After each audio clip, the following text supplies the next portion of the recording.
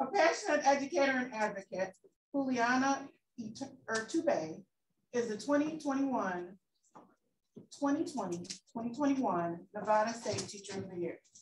She is the first Latinx Nevada State Teacher of the Year since at least 1992. Ms. Urtubey holds a Bachelor of Arts in Bilingual Elementary Education and a Master's degree in Special Bilingual Education from the University of Arizona. Ms. Urtubey is a National Board Certified Teacher, Exceptional Needs Specialist, Early Childhood, and Young Adults. Currently, she is a hybrid educator at Booker Elementary School in Las Vegas, Nevada, where she serves as a co-teacher in pre-kindergarten through fifth grade special education settings and as an instructional strategist developing school-wide multi-tiered systems of supports for academic, social, emotional, and behavioral intervention. Previously, she taught special education in the resource setting at Crestwood Elementary School. She is warmly known as Ms. Earth for her work in beautifying the school and advocating for and unifying the school community with gardens and murals. Ms. Urtubey is a National Board for Professional Teaching Standards Teacher Fellow, a Nevada Teach Plus Senior Policy Fellow, an Understood Teacher Fellow and Mentor, a Nevada Department of Education Superintendent Teacher Advisory Cabinet Member, a National Board Network of Accomplished Minoritized Educators Founding Board Member, and a learning facilitator with the Nevada National Board Professional Learning Institute. She is a recipient of the 2019 Chicanas por la Causa Esperanza Latina Teaching Award, a recipient of the 2019 Hispanic Education Association of Nevada Teacher of the Year, and a 2018 Rogers Foundation Heart of Education winner. Let's give her a round of applause.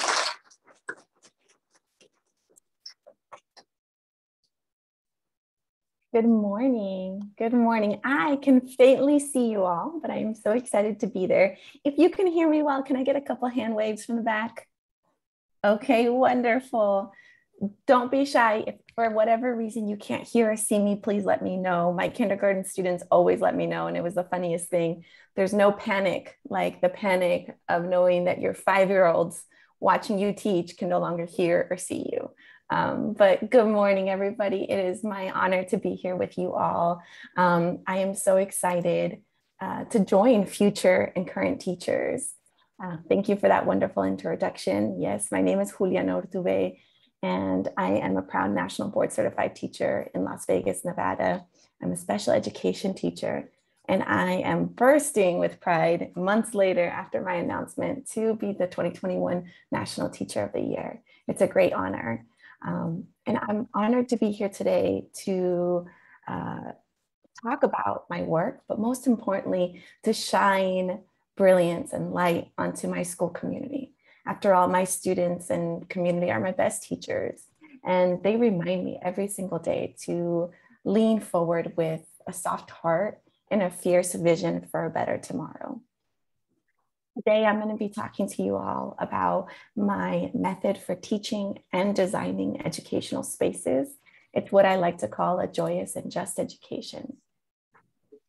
Before I get started, I do want to send a huge thank you to the Indiana University Southeast staff for seeking out teachers to talk to you all um, about your vision, your philosophy of education, I think that the most important thing, the thing that carries teachers throughout their career during the difficult times and the challenging times, as well as the great times, is our why.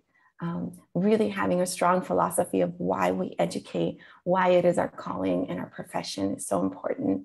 Um, I'd like to thank the campus Life Office, the Campus Activities Board, the Equity and Diversity Board, and really shout out both your College of Education and your New Neighbors Center. Um, both of those things fit and align quite well with my philosophy of education. All right, so to get started, if everyone could get out their phone and scan this QR code, um, we're gonna do a little activity. If you happen not to have a phone that can capture the QR code, that's okay. Go ahead and go to slido.com, S L I D O.com, and then you can type in that code. And that code is going to take you to a question. And that question is what is your why? What is your why for wanting to become a teacher, an educator? What if you're currently in the classroom? What is your why for staying in the classroom? What was your why this morning when you got up to join your colleagues, your peers, and me from across the country? Okay. So, what we're going to do is you can type in a couple words into this, and I have it active on another screen. Okay. And what we're going to do is I want you to think about for a couple seconds what is your why? And then I'm going to count back. Oh, good job. Okay, perfect. Go ahead and start pouring them in. Connections, students, light bulb moments to make a difference, to give, to learn. Oh, look at what's coming up in the center is students making a difference, ins- inspire, being positive forces in students' lives, progression. Wonderful.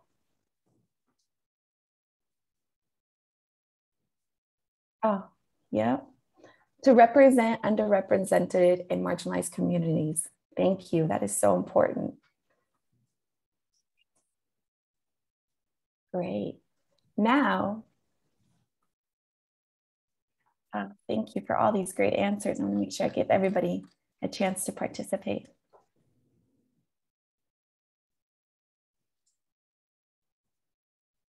Okay, and now I want you to think about what is the origin of your why? Where did that why come from? What is the origin of your why?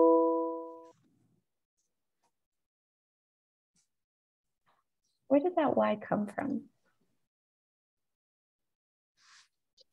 Past teachers, your family, your grandmother, seeing your mom as a teacher and the difference she was able to make in people's lives.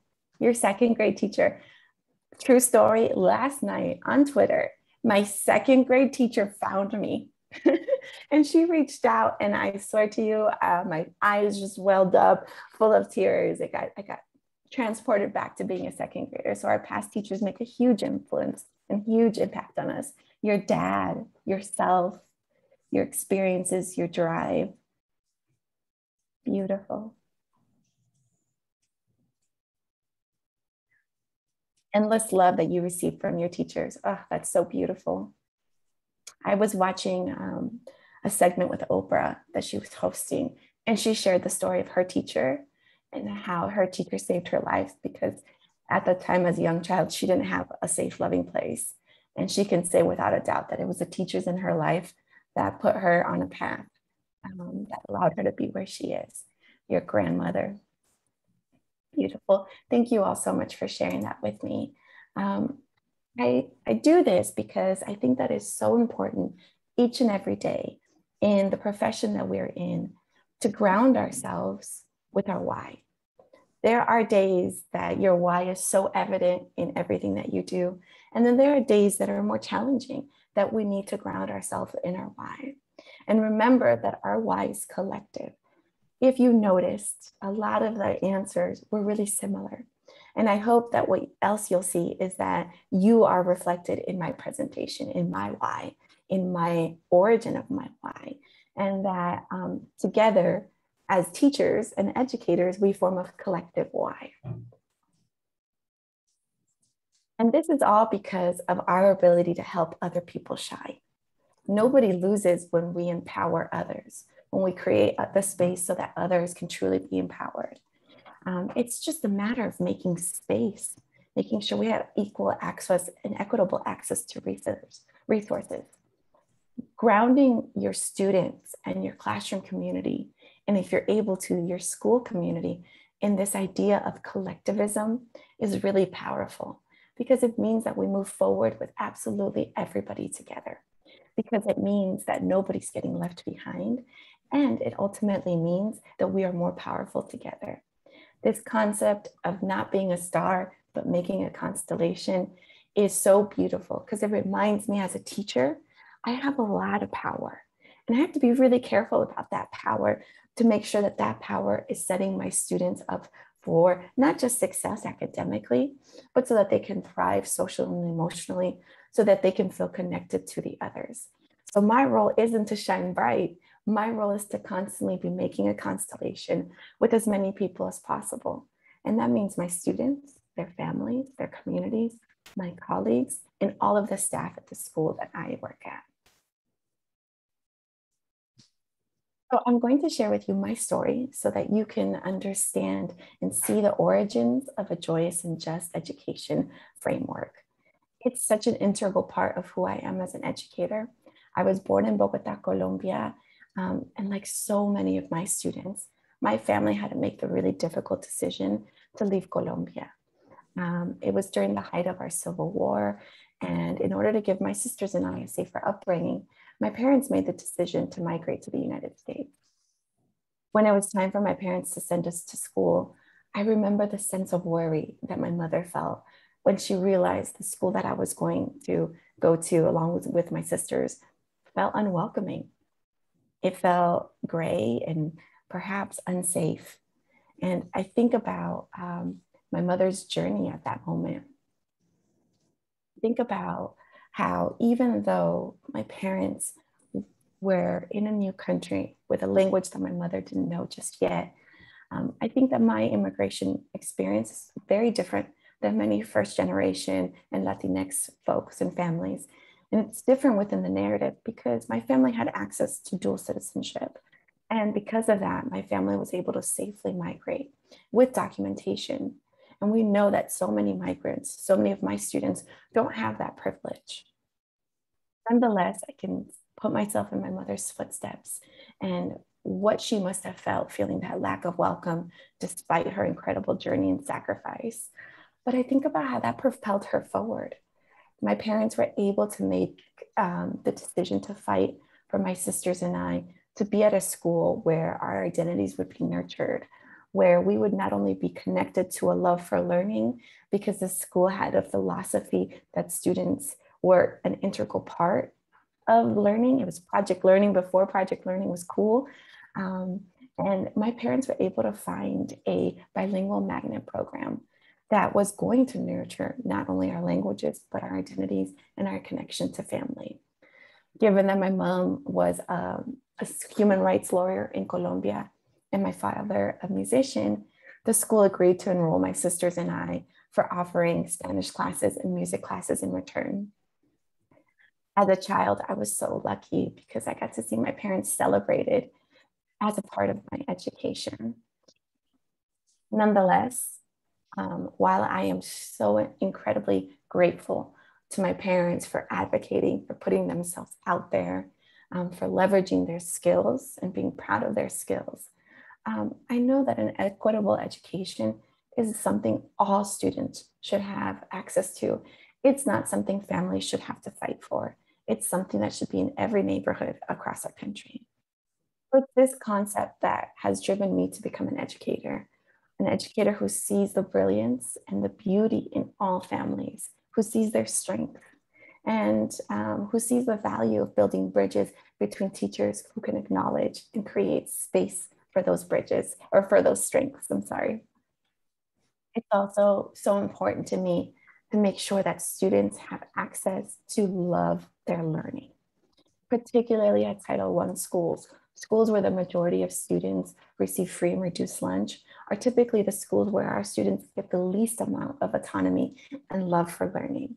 And so it's those concepts that really propelled me forward in creating what I call today a joyous and just education. But before I give you the definition explain to you the pillars of a joyous and just education, I'd like to share a metaphor with you. In the beginning of the school year, um, I do this science activity with all of my students. I give them a bunch of different seeds and I ask them one simple essential question. What is inside that seed?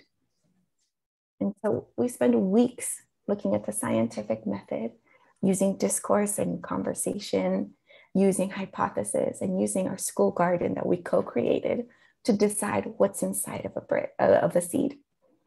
After a couple weeks, my students realize that inside of a seed is absolutely everything the seed needs to sprout. Um, in fact, my students discover that seeds have a sense of gravity, which is quite incredible. Be, because of this sense of gravity, They know where to send their roots and where to send their shoots. Um, and this becomes a year long metaphor for what it means to be a person within a community. Because after all, just like the seeds, my students have everything they need inside to be able to thrive. We realize that it's all about the ecosystem that determines to what degree we're going to thrive. It's about the soil quality, the water quantity, the sunshine, and the caretakers of the land to determine how that seed's going to thrive. And ultimately, if that seed's going to be able to fulfill its role within our garden. Similarly, my students understand that they each have a vital role in um, our classroom ecosystem. And so this metaphor that we all have, what we need within ourselves, and it's our environment, is really a great uh, metaphor for all people. I want you to remember that, yes, every day we show up for our students' success, but your well-being, your connectedness to your colleagues and to the staffs on school campus is just as important as your students learning and thriving. So let me break down the joyous and just education. Joy really is quite different than happiness. Happiness can be fleeting. Joy comes from a deep sense of belonging. Joy comes because you know your role, you know your value, your worth, and you know that in an interconnected community, you are one of many, but one that is valued, just like everybody else. Um, a joyous education really centers students' identities and their possibilities. It allows them to show up exactly who they are without having to dim down any parts of them. And that's their language, their cultures, their identities, um, their ethnicities, their journeys, and their story. Um, and centering who they are always includes their families and their communities. But in order to be able to do that, we have to create spaces at school where families feel welcomed, where communities feel acknowledged and uplifted. And that's where the just of the joyous and just comes in.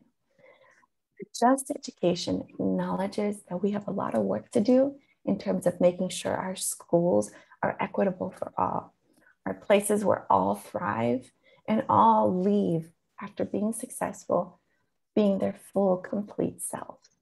To give you a short, a quick example, um, just the other day, I was part of a panel celebrating the Crown Act. The Crown Act is a legislative piece that's been moving throughout the country, outlawing any kind of discrimination based on students' hair. It ensures that all students, particularly Black and African American students, can come to school with their hair in an afro, twist, locks, however they most feel themselves. You would be surprised the amount of students who feel not only that their hair is unwelcomed in our schools, but literally excluded within dress code policies. And this bill not only did that for schools, but did it for employees all across. So that means that our students and our teachers who want to wear their hair in natural and textured ways get to do so. On this panel, one student um, shared how she had gotten a dress code violation and it paralyzed her eighth grade year because she felt that that was going to go on her record and that she was going to be looked at as somebody who was not compliant to the rules. And as I listened to her tell her story, my heart broke a little bit. The last thing I want my students is to be compliant to rules that don't nurture who they are. I want to create a space where my students have voice in telling me, hey, Miss Earth, this rule's not fair. It makes me feel this way and for us to have community conversation about ensuring that our school policies, routines, practices mirror our students' brilliance. And so a just education acknowledges and commits to this process of ensuring that everybody has access, that we acknowledge both visible and invisible barriers to access for a better tomorrow. And that we're building based on collaboration not compliance. Um, I'll get into that a little bit more, but I wanted to plant that seed that our students get to be themselves more often when we nurture compliance or when we nurture collaboration and we're really careful about compliance measures. So therefore, the most important thing about a joyous and just education is that it's intentional and it's a holistic approach to designing our students' learning based on their identities and ensuring that each student has a key a role and voice in the educational ecosystem that we design with them. I'm going to share with you four pillars, four takeaways about how, after 10 years of working um, in building a joyous and just education, the four things that I learned that were really elemental and um, could be applied to anywhere. I'll share with you in just a little bit about the garden that we co-constructed. Um, but the garden really serves as a metaphor. Not everybody wants or needs a garden at their school. Sometimes schools need different types of organizations or activities that really bring in community and really help foster the sense of togetherness and collectiveness. For me, at my school at Crestwood Elementary, that for us was a garden. So a garden is a metaphor in this in this scenario. But I'm going to share four pillars that were really important and continue to be very important to me. And this transcends into any teaching space, even universities. The first pillar um, is that inclusion is a key and intentional element of design. In our society, there are people who have been both excluded and purposefully marginalized from educational spaces from education being a thing that can transform their lives and doing so in a way that breaks free from only productivity and success measures, but really encapsulates what it means to be a part of a community. And so, if we take the people who are most marginalized, most excluded from spaces, and we design the spaces for them, then that space is going to fit absolutely everybody, and we're going to be able to move on as a special education teacher, this is incredibly important for me that our educational spaces meet sensory, physical, and learning accommodations that kids with learning and thinking differences, people with disabilities might need. This also applies for folks who speak the language that is least common or perhaps least valued in the community, making sure that we have um, all the languages represented this might look like something I did frequently, which was making sure we had an American Sign Language interpreter available at all of our garden clubs, all of our garden build days to ensure that all of our students could truly access. The next pillar is intergenerational learning. This is the heart of a joyous and just education. And it's so important to make sure that we have space for intergenerational learning. That means our students' siblings and cousins, their aunts and uncles, their grandparents, their parents. Um, for children, it's so validating and healing for them to see their families sincerely valued in this school. I know it was really healing for me as a child. Our school history, our public school history in this country has a lot of work to do in terms of healing uh, wounds of public education. If we look at the history of the American Indian boarding schools and how families were separated, if we look at segregation, English only laws, the list continues. Often I have parents who come up to me and share with me their own traumas, their own reservations about participating in a public education.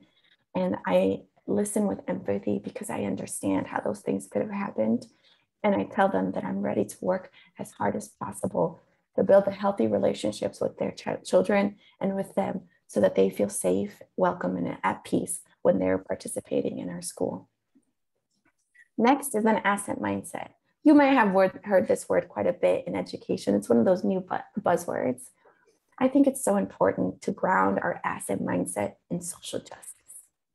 We have to know the history of so many communities that haven't found success or haven't found a welcoming uh, smile at schools and really understand where is that coming from.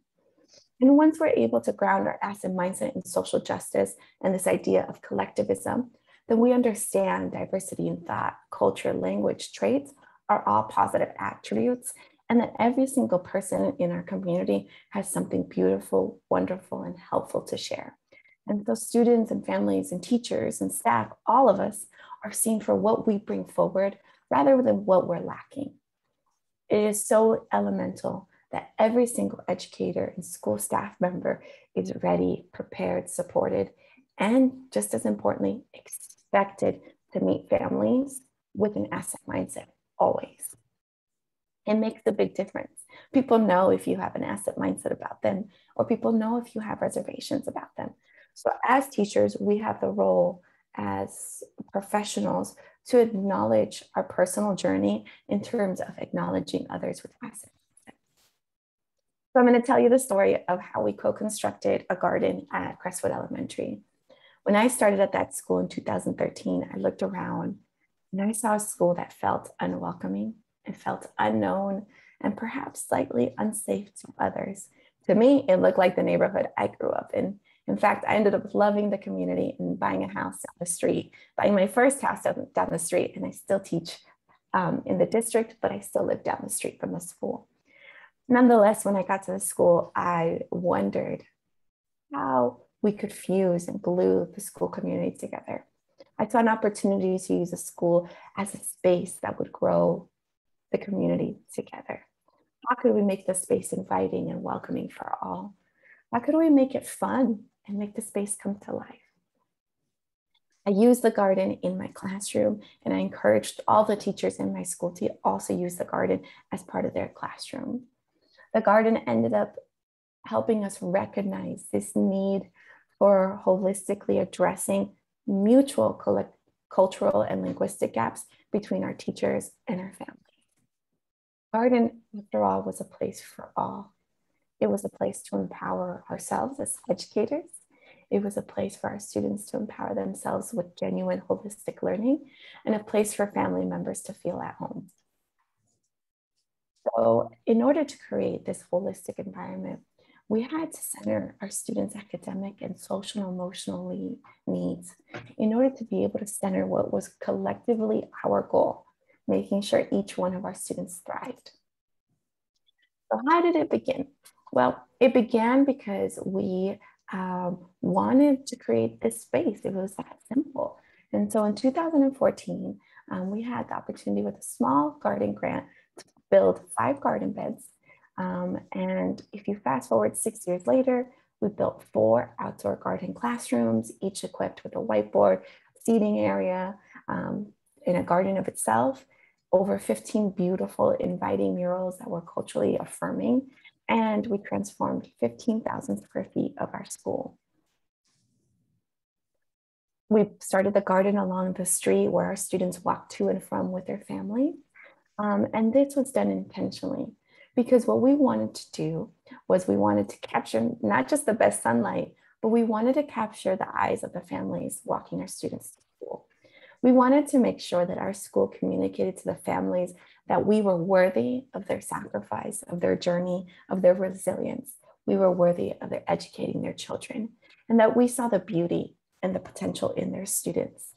Um, and between the colorful walls and the plants welcoming the families, our school now unequivocally communicated to the families this is a school, this is your school, and we are just so happy that you're here with us we not only painted murals close to the garden, but we started painting them all over the school because we wanted all of the students at any given moment to be able to look up at the walls and see themselves not only reflected, but deeply celebrated. How did we build the garden? Well, I'll tell you, it was a very slow process. It was a process that was done with community voice and input. Um, no decision was made alone. Every decision had multiple students family members, community members giving their input. And that's ultimately how we designed a garden that really fit our needs. Um, because families had very dynamic needs, teachers had to be very dynamic and creative in ensuring that we got that voice. We were very communicative with the families. We understood their work schedules. We understood that Saturday mornings might not be the best time for everybody to come participate. So we did things different times after school. Sometimes we do things early after school. So some we live in Las Vegas, so the work schedule is 24 hours a day. So we did some after school so that parents who were working the night owl the night uh, shift could come in and it was really low lifts. We would paint maybe signs and offer a meal so that the point was to share time with families.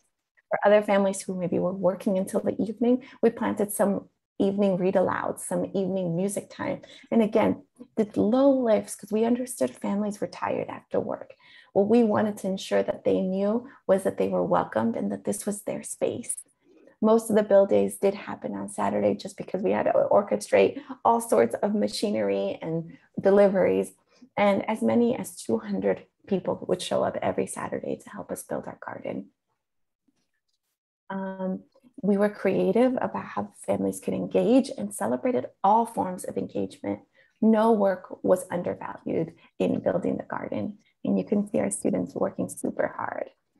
Um, you know, we were really, really touched when families who couldn't physically be there would drop off a jar of lemonade or a bowl of cut fruit to share with the volunteers. This told us that we were on the path of truly unifying the community. Um, and over the course of six years, we were collectively able to raise over $80,000 to expand and build our garden and mural, mural program. Each single penny went to ensuring that our students had a joyous and just education. Our garden ended up serving as a model for hundreds of other schools, not just in our district, but in our state we started a garden club called the Gnomies. Um, and you can see their pointy hats and my gnomes behind me. Um, Gnomies is a word that we made up. We put together the word gnome, you know, the little uh, mythical creatures that take care of gardens, and homies. You all are probably a little too young, but back in the day, there used to be these little plastic figurines called homies, um, and you could collect them all. And so um, we would bring little trinkets to take care of the garden, like little dinosaur toys and little homies. And anyway, the name came about because we put the word gnome and homie together, and you fuse it and you get the word gnomies. So our students were known as gnomies, and it's a proud badge of honor that they wear well after the elementary school days. Um, but we started this garden club so that we could ensure that the garden was bountiful so that the garden was safe and ready for all the classes to come in during the week to learn the garden. Um, and just as importantly, to share the harvest with our community. Our students would get up quite early once a week to join the club. And often families would tell me this was the only day during the week that it was not a struggle to get their child up and ready for school. In fact, the child was often rushing them to come to school because they were so excited to be part of a community and to help us with the garden. We also ran monthly farmer markets that offered fresh fruits and vegetables to the community. The students decided that it was important to them to not charge for the, for the vegetables and fruit and instead do a sliding donation. They were so warm and kind to their community. If someone came by who didn't have an, happen to have any cash or their wallet, the Gnomies would tell them, don't worry, please take what you want. Let us know how you enjoy it and come by the garden one day to check us out. And that's how the garden grew was really because of this genuine care for others. The Gnomies intrinsically embodied what it meant to have community care. We were also able to organize summer garden camps. And for 99% of the students attending my school, this was their first, this was the first time that they had ever had access to summer programming. And so we made sure to fundraise so that cost was not a barrier to absolutely anybody. We gathered family members the picture to the right, you'll see um, those are all my past students, all my past Gnomies who are now siblings of Gnomies who were in the garden summer camp who came back to volunteer their time. We gathered their aunts and uncles, their parents, their grandparents, community elders, scientists, local gardeners, and chefs to come and be a part of our summer garden camp. The Gnomies participated in community service learning projects that offered ideas and suggestions and tangible solutions to improving our garden ecosystem. They also harvested from the garden just about every single day and prepared meals. Our students during the garden camp got to sit down for a one hour lunch every single day, where they sat in tables that were round and they looked at each other and had conversation during their meal. For those of you who have been in elementary schools, you know what a huge deal this is. Typically, students sit in rows facing the fo- facing forward and they have a very limited amount 10 20 minutes to eat their food. We wanted to ensure that we were modeling the values that we thought were important to children's development which was this connection to each other this enjoyment of healthy food and this commitment to getting to know each other's stories through dialogue. In my classroom the garden as you can imagine was a centerpiece when we weren't in the garden, I brought the garden into my classroom. We would often have um, something growing in the school in my classroom. We harvested um, monarch eggs and captured each part of the process in the metamorphosis. We had worm composting where the students were in charge of using fractions to determine how much um, fruits and vegetables they would need to give the worms, how much their output in compost was. We always had ceilings.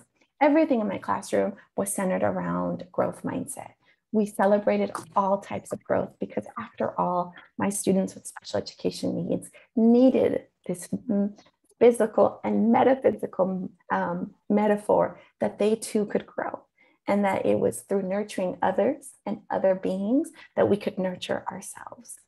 My students with learning and thinking differences loved learning collectively, and they loved learning with their hands in the garden. Our garden was in the classroom no matter what. Um, and so I do want to let you know that I have consent for all the stories that I'm about to share. And I was really honored when I was speaking to the families about sharing their stories. They not only asked me to share their stories, but they asked me to share their real names because they are so proud of um, this journey that they had together. First story I want to tell you is about Orlean. He's one of my students with learning and thinking differences, um, particularly in math. And he was having a hard time finding success with multiplication and traditional models. And so when we were in the garden, I sent my students off to find patterns. That's all I said. I said, go find as many patterns as you can and come share the patterns that speak to you the most. Well, Orlean determined that our strawberry bed had three leaves per plant. And that if he wanted to find out the total number of leaves, all he had to do was skip count or find the multiples of three. And at that moment, Orlean began to multiply. He found it much easier to multiply by looking at the amounts of strawberry leaves on the plant. And it was having this holistic educational design that allowed his intuition, his observation, his confidence to lead the way. It allowed him to be his truest self while he was learning um, and learn in the way that made the most sense to him. If he had to go to the garden to complete his math ta- tasks, we would all encourage him to go. Next is my student Nessa. Nessa, when I met her in third grade, she was shy and reluctant and the school had labeled her as an emergent English language speaker. As she was shy, she didn't really prefer to speak very often. It took me a little bit of time to really get to know her.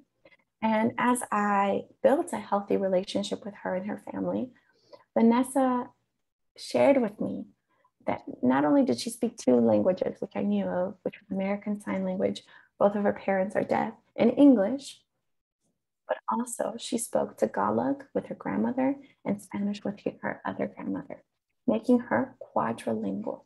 She spoke four languages. Vanessa inspired me to find a word that captured her brilliance. I no longer call my students English language learners or multilingual.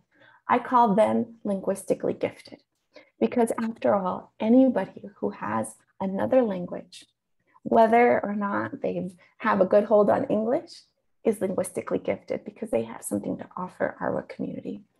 And so I made sure that I communicated that with Nessa. Nessa, Nessa ended up blooming um, and she loved her languages and she was proud of her languages. She began to engage in more eye contact and she was more willing to express herself verbally she ended up becoming one of my student teachers, and she would teach the young ones their letter names and sound using American Sign Language. And all of our students found a lot of success in their partnership with Vanessa. The point is that holistic learning spaces allow our students to see themselves. And it's this sense of safety and peacefulness that encourages them to connect with themselves so that they connect with others. Next is my student Leela. Oh, my sweet dear Leela. When I first met her, Leela's bangs were down to here. And she had a really hard time connecting socially as she is neurologically diverse. She has autism. Um, she, and she used to hide behind those long bangs. And on all of her work, she would constantly draw emojis. I'm going to tell you guys a secret. Sometimes she would draw the little poop emoji on her math trying to communicate to me, no, thank you, this is not for me. Um, I know I don't share that often, but I feel like you all would really appreciate that. Um, and once she started drawing anime on her work, I knew that we were making headway. Um, so by collecting, by engaging in collective learning, meaning that Leela knew she had strengths to offer others, and she also had needs so she could receive other people's strengths and support. Um, that's the collective learning that happened in my classroom. Leela was able to courageously confront her math and her discourse anxiety. She harnessed her growth mindset, understanding that if she understood how her brain worked, that she could find her strengths and offer more to others. She ended up being a great mathematician over the course of the years. Um, and she ended up being able to communicate in complete sentences that improved her writing, but also that um, gave her a sense of autonomy. Um, the following year, I got probably one of my most treasured teacher mementos. Um, in a letter Leela's mom wrote to me, she said the year that Leela came to my class was the year that she got her daughter back. And I don't tell you that to gloat. I tell you that to tell you how important you are in ensuring that your students connect back to their family. The truth, and this is a hard truth, sometimes education separates us from our families. But education also has a power to connect us back to our family. Leela learned how to use words to communicate to others how she felt, what her needs were, and therefore we were able to meet her needs. The next student I'm going to share with you is Mr. Joseph, Mr. AK Comic Squad. He insisted people called him Mr. Comic, Comic Squad, and I abided. And so he had a really hard time with his emotional regulation and, and managing his behavior at school. This impeded him from having friends and from being able to participate in class without being frustrated even though he's twice exceptional, meaning he's gifted intellectually, he's in the highest, I believe, 5% of his intellectual capacity, and he also has autism. So we fin- figured out how to harness his strengths. Um, some came from his autism and some from his intellectual giftedness um, into comics. And we would uh, tackle his biggest needs by drawing. Um, over our three years together, we created hundreds, and I mean hundreds of comics that allowed him to role play, remember calm ways to solve problems. And in his last year with me, when he was ready to go to 100% inclusion, meaning he wasn't going to have to leave his peers for special education services. In fact, we were just going to consult with his teacher because he was ready due to his growth. He made me a book that captured our journey together. This is one of the pages. It says on the top, there's no denying that Mr. Urtubey is the best teacher around. Again, I don't tell you this to tell you how great of a teacher I am.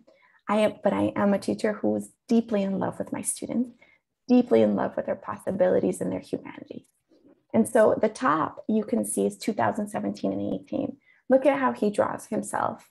Look at the distance between him and, and myself. Over the course of three years, the middle is 2018 19. Look at his expression in his face. And his last year with me, 2019 2020. He is a fully realized human with expression, clothes, hair, and look at his proximity to me. It is due to his healthy relationship with me, a healthy relationship that acknowledges his strengths, his culture, his identity, his language, his family, um, that allowed us to have this kind of learning and growth together. Um, is it okay if I just go over a couple minutes I want to share one more story. I'm so excited to talk to um, the students. So I, I, I am going to share this story and I promise to move quickly through the rest. Um, over the years, I realized how important the school was for welcoming students who were newly arrived. Although I'm a special education teacher, all of the students at the school were my students. The garden allowed me to do this. So um, I, will never forget the day that I met Haynes. You'll see him on the left-hand side. He was shy, but so eager and so warm. We didn't speak the same language. He spoke Tagalog, I speak Spanish and English, but luckily there's some similarities between Tagalog and Spanish. Um, I knew that Haynes wanted to be part of our school. So I did my best to translate an upcoming Google or um, I'm sorry, translate an upcoming uh, flyer for our garden build day. I used Google Translate. I did my absolute best. It probably wasn't perfect, but I handed it to him and I pointed to the garden and I said, come. And that Saturday, he showed up with his Lolo, his grandfather. They each had a shovel in hand and they offered a bag of okra seeds for our garden. Haynes helped us build our first layer of this adobe cob bench. It's just hay, dirt, and water, but you have to build it um, handful at a time. And so they helped us build that. Um, since that day, Haynes was a proud garden gnome. and He never missed a day. During our next build day, his sister Hannah had joined us from the Philippines. Before Hannah had even left the Philippines, Haynes had made sure to fill out all of her paperwork, her permission slip, so she could participate in the garden club. Before leaving the Philippines, Hannah knew that there was this space that was waiting for her with open arms. Hannah and her mom and dad and her grandparents were able to, to help us finish our adobe cob bench. Next school year, Hira, their youngest sister, arrived from the Philippines. And naturally, she joined her family and her um, siblings in the garden club. To think that our school was a safe space, a welcoming bridge for these students and their family still brings me such a deep sense of joy and justice because of the rooted elements of community. Hannah, Haynes, and Hira not only learned English while they were in the garden, but they gained confidence, friends, connection, and most importantly, a warm welcome with a strong sense of belonging. I recently ran into the family at our neighborhood grocery store, and later that day, Hannah sent me this message. Just in case you can't see it, I'll read it to you. Miss Earth, the reason we wanted to join the garden club was because of how being surrounded around plants made us feel at home. In the Philippines, we were surrounded by green mountains and farms everywhere. As we all grew up and went to middle school and high school, the garden club was still something that means a lot to us. It wasn't just a club, it was a family. And so I have to tell you that for me, um, the garden club was also just a family. It, it was also just more than a club, it was a family teachers also blossomed in the garden. I consider myself one of those teachers who was able to truly blossom in the garden. Garden was an equalizer. It didn't matter what language you spoke, how much formal education you have, what country you were born in. The garden was a space where all work that was of equal value, where each person mattered. Um, and for our students, seeing their family celebrated and validated, just like I had been in my um, experience validated my students. Um, and it's through this line of work that I was given the name Miss Earth. Every time I seen her, she she always had a smile, and every and you know how like plants come out of the earth, and she she made the, the plants that we have in a garden come out of here. So they call her Miss Earth a bit because she she created the garden. The truth is, and the point is, that when you truly love your community holistically, when you've looked at your own biases, when you've looked at society's biases, and you create another world in the school, this is what happens. This is genuine family like love um, built on healthy relationships with families. So I'm going to share a call to action, and I just want you to keep this in the back of your mind as you engage in schools. Um, these are a few things that I think that a lot of teachers already do, and I just want to remind everybody of just how important they are. The first is a trabajar, get to work. The most important thing is to address and, ex- and, ask, and assess for barriers. What are the things that keep people away, both intentionally and unintentionally? Truth is, it doesn't matter. We have to find ways that we understand what keeps people away and design ways to keep bring them in remember that our labor to each other matters. And it matters when we do it collectively. This is why bees are so important. You can see, be the best you can be. And I have a bee over here. Bees are so important to me because, after all, they labor for others. In part, I escuchar, to listen. We have to learn to listen. Listening is a really hard skill we have to, in order to truly listen to somebody, we have to understand where they're coming from, their stories, their histories, their, their needs. So we have to commit to learning to listen to student and family voice. After all, it's not just one person, but it's everybody in the community together that brings us forward. So we have to find ways to legitimize the knowledge of the families and communities that we teach. Colaborar, to collaborate. Nobody can do this work alone. This work is done through collaboration.